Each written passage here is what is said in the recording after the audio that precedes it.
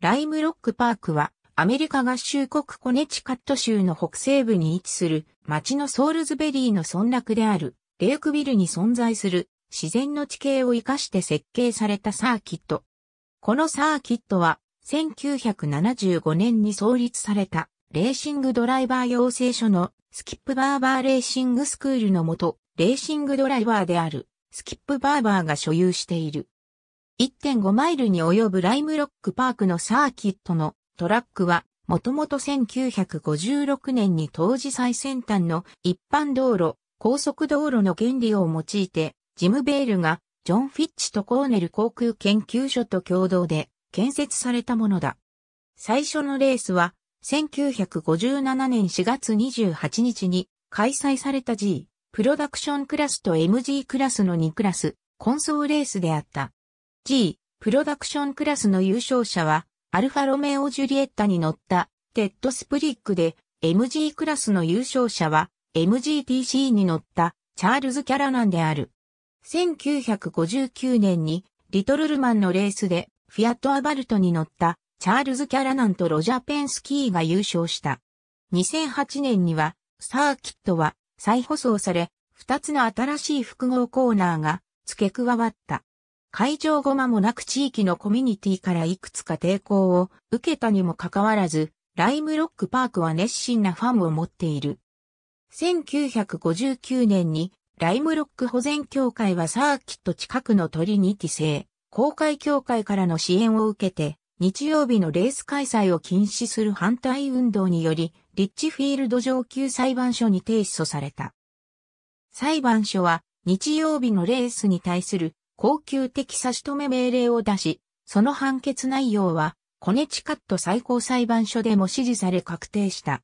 限定的ながら、慎重な適用によって日曜日以外のレースに対する差し止め命令も可能となった。火曜日のテストと、その他、オペレーティングメリットに加え、金曜日と土曜日のマフラーなしのスポーツカーレースを行うサーキットの権利は保護された。その差し止め命令は今日も有効である。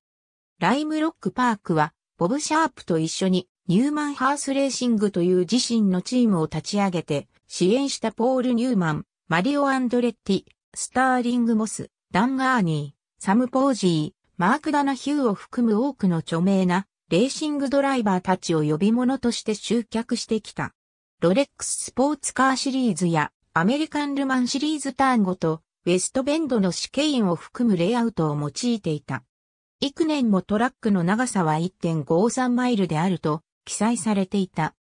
その話は建設直後からあり、何者かが死亡霊車の走行距離計を使ってトラックの長さを測った1.53マイルの値が絶対の真理のように信じ込まれていた。2008年の再修理の際のリッチフィールド軍のアメリカ合衆国国家歴史登録財の一覧によると、人の手によって計測可能な四方すべての外形の計測で、それぞれ数百フィート加えたり削ったりした結果、ライムロックのトラックの長さは1.5マイルであることが分かった。従来のクラシックなレイアウトでは7つのカーブがあったが、追加されたレイアウトでは、それぞれ8から10のカーブから構成されることとなった。 National Park Service、National Register Information System、National Register of Historic Places、National Park Service、2020年10月12日、閲覧、ABC、About Us、ライムロックパーク、2014年3月19日、閲覧、アーカイブされたコピー、2014年5月8日時点のオリジナルより、アーカイブ、2013年7月7日閲覧、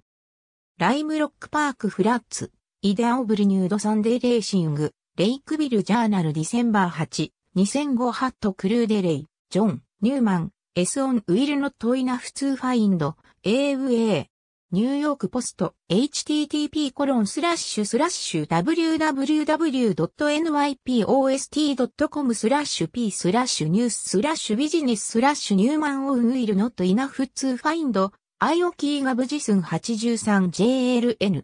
ありがとうございます。